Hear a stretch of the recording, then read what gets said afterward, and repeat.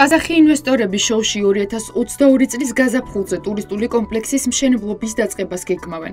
როგორც პროექტის ხელმძღვანელი ირაკლი ფაილოძე BMG-სთან აცხადებს, მანამდე ინვესტორმა კომპანიამ სახელმწიფოს გენგეგმა და პროექტის კონცეფცია უნდა შეუთანხმოს.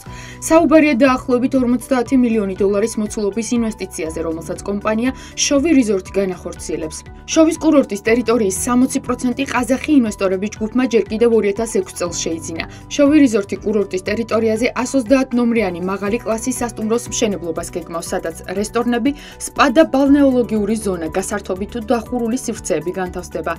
ტერიტორიაზე გათვალისწინებულია 30-მდე კოტეჯის მშენებლობაც. Coca-Cola ბოთლერ ჯორჯია მომავალ წელს მთის წყალს ექსპორტზე აზერბაიჯანში გაიტანს. ამის შესახებ BMG-ს ბიზნესმენმა თემურ ჭყონიამ განუცხადა. მთის წყალი ბაზარზე გასული წლის ივლისში გამოჩნდა და ბრენდს დღეს ბაზრის 22% უჭირავს. აზერბაიჯანი Coca-Cola Bottler Georgia-სთვის ერთ-ერთი მნიშვნელოვანი გასაღების ბაზარია. როგორც თემურ ჭყონია ამბობს, მხოლოდ გასულ წელს აზერბაიჯანში კომპანიამ 10 მილიონ ევრომდე პროდუქცია გაყიდა. მთის წყალზე გაზრდილი მოთხოვნის გამო კომპანია საწარმოო ხაზის გაფართოებას და ახალ საექსპორტო ბაზრებზე გასვლას განიხილავს. Coca-Cola Bottlers Georgia მტკნარი წყლის მოპოვებაზე 25 წლიან ლიცენზიას ფლობს. თისყალის ბრენდის შექმნაში 3 მილიონ 200 000 ევროს ინვესტიცია განხორციელდა. ტურისტული მარშრუტების ქართული აპლიკაცია ბილიკი პოლონეთის ბაზარზე შესვლისთვის ემზადება. კომპანია ჯიტასა და პოლონური მხარის ორგანიზებით სააქსელერაციო პროგრამაში მოხვდა, რომელიც კომპანიის ახალ ბაზრებზე შესვლას შეუწყობს ხელს. დღეისთვის კომპანიის დამფუძნებლები პოლონელი ენჯელ ინვესტორებიდან თუ ვენჩურული ფონდებიდან აპლიკაციის პოლონეთში ჩასაშვებად დაახლოებით 300.000 დოლარის ინვესტიციის მოზიდვაზე მუშაობენ. ბილიკის დამფუძნებლებს მოლოდინი აქვთ, რომ აპლიკაცია პოლონეთში გაზაფხულისთვის ჩაეშვება.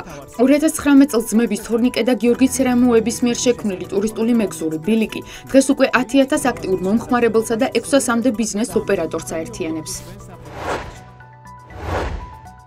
ბოლო პერიოდში საქართველოსი ვირის რძეზე მოთხოვნა 40%-ით გაიზარდა. ამის შესახებ BMG-ს ვირების ფერმა სახედარის დამფუძნებელმა და ხელმძღვანელმა თემურ ლომიძემ განუცხადა. მისი თქმით, ძალიან ბევრი ექიმი პაციენტს ვირის რძეს მისი სასარგებლო თვისებებიდან გამომდინარე პოსტ-კოვიდურ პერიოდში პირდაპირ უნიშნავს. ვირების ფერმა სახედარი ადგილობრივი ბაზრის გარდა ვირის რძესა და მისგან ნაწარმოებ რძის ფხვნილს, ასევე კოსმეტიკურ პროდუქტებს, როგორებიცაა ტუჩსაცხი, სახის საცხი და საპონი, ამერიკის შეერთებულ შტატებში ყიდის და მომავალში საექსპორტო ბაზრების გაფართოებაზეც მუშაობს. ნატურალური ქვევრის ღვინის მწარმოებელი მცირე საოჯახო მარნის ზურაბ კვირიაშვილის ვენახების ღვინო მომავალი წლიდან ექსპორტზე კორეასა და იაპონიაში გავა. ამის შესახებ BMG-სთან კომპანიის დამფუძნებელმა ზურაბ კვირიაშვილმა ისაუბრა. მისი თქმით, ამ დროისთვის კომპანია პარტნიორებთან მოლაპარაკებებს აწარმოებს. თელავში მდებარე ზურაბ კვირიაშვილის ვენახები ბაზარზე 2002 წლიდან ოპერირებს. კომპანიას ღვინო საფრანგეთში, აშშ-სა და შვეიცარიაში უკვე იყიდება. მცირე საოჯახო მარნის წარმატება წელიწადში 5000, 6000 गुथ लिया। ექსპორტზე გასვლის გეგმები კიდევ ერთ საწარმოს აქვს. კერძოდ, კაკლის გადამამუშავებელი საწარმო ანიგოზი წელს კაკლის იმპორტის მინიმუმ 20-30%-ის ჩანაცვლებასა და შიდა ბაზრის დაკმაყოფილების შემდგომ ექსპორტზე გასვლას გეგმავს. როგორც BMG-ის კომპანიის დამფუძნებელმა ანა ქელხიშულმა განუცხადა, საქართველოს აქვს პოტენციალი საერთაშორისო ბაზარზე ხარისხიანი ნიგზის მწარმოებელი ქვეყნის ნიშა დაიმკვიდროს. შიდა ბაზარზე კი იმპორტი სრულად ჩაანაცვლოს. ანიგოზი 2020 წელს დაახლოებით 3 მილიონი ლარის ინვესტიციით დაფუძნდა. საწარმო ლილოში მდებარეობს და 15 ადამიანს ასაქმებს. კომპანია წელს 200 ტონა ნიგზის გადამუშავებას გეგმავს. ჩვენი გეგმა არის მოვახდინოთ იმპორტის ჩანაცვლება. 20-30%-ით მინიმალური რაოდენობა იქნება ალბათ წლევანდელ წელს ჩვენ რა ასე ვთქვათ ამბიციაც გვაქვს. გვინდა გავაცნოთ ქართულ ბაზარს რომ და დავუმტკიცოთ რომ ქართული ნიგოზი არის არა მხოლოდ იგივე სტაბილური ხარისხის, არამედ კიდევ უფრო უკეთესი ვიდრე იმპორტული ნიგოზი.